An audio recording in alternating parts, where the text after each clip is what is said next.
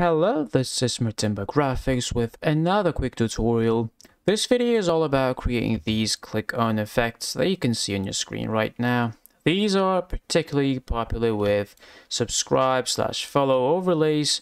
So as you can see, uh, that finger is sort of bending and making that click. That's exactly what we will be creating in this video. Alright, so I went ahead and prepared the wiggly bell animation. So this will be, we'll be using this as something that we will be clicking on. So, as you can see, the bell is like wiggling. And in case if you're interested on how to create this wiggly bell step by step, uh, I've recorded a tutorial on my channel. So I'll leave a link in the description. So go check it out.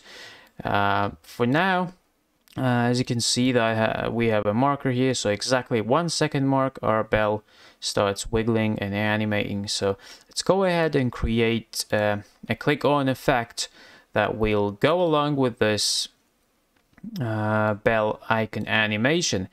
So uh, first let's create a new composition let's call it uh, click 1920 by 1080 30 frames per second and click OK Alright, let me just bring back that bell. Okay, let's just decrease the size like so. Alright, so we need something, some like a hand or a cursor, or something that you want to animate, something that will be making a click. So if you Google something like YouTube hand PNG, uh, know, these are the ones that come up. So you can use any hand you like and in, for the sake of this tutorial I'll be using this hand PNG right here. So drag your P hand or whatever PNG to the new composition icon. This will create a new composition based on the dimensions of your PNG file. So then go back to your main composition, so in this case the click composition, and drag the newly created hand composition or in the project here to the timeline on top of your bell icon. Of course, it's like if you need to be resized, click S for scale and decrease the size. Let's put 30. Okay, this is good enough. So let's assume that you've already animated the position of this hand and it's uh, like positioned on top of the bell. And this is where we want to make the click happen. As you remember, at one second mark, our bell starts animating.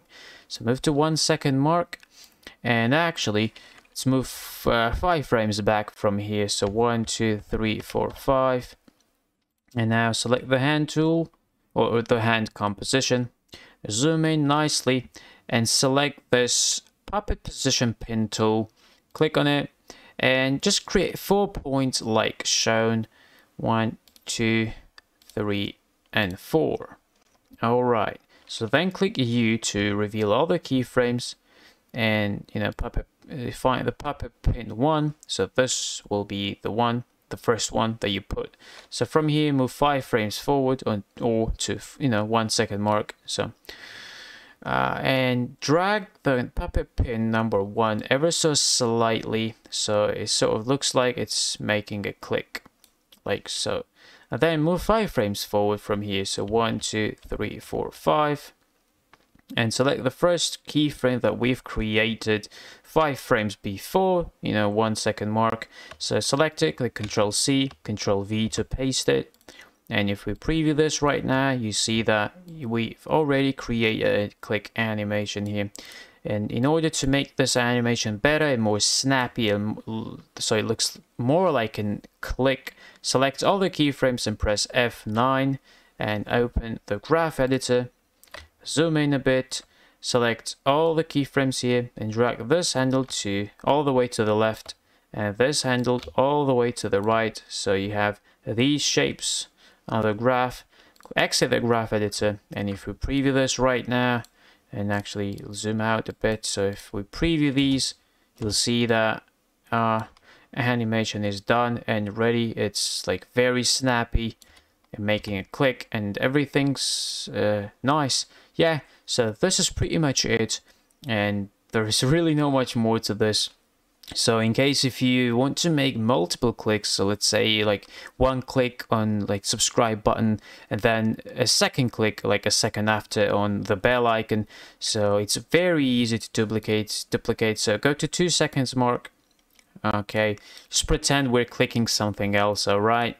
Uh, so select all the keyframes for, you know, puppet pin number one. So for these ones that we've created, and Control C, Control V to paste them. And at two second mark, you know, our finger will just make another click. So that's how easy it is. So one click, you know, second click. that's that's how easy it is. So uh, yeah, so thank you for watching. I hope you enjoyed. Uh, leave a like on this video and tell me what you think in comments down below. Also, don't forget to subscribe to my channel for more you know, tutorials like this. And yeah, thank you for watching and I'll see you in the next one.